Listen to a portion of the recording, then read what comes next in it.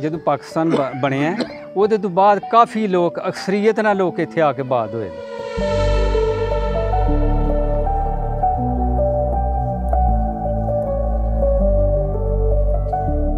इस गांव के हवाले से जो तारीख़ है वो अ, पाकिस्तान बनने से पहले से ये गांव आबाद है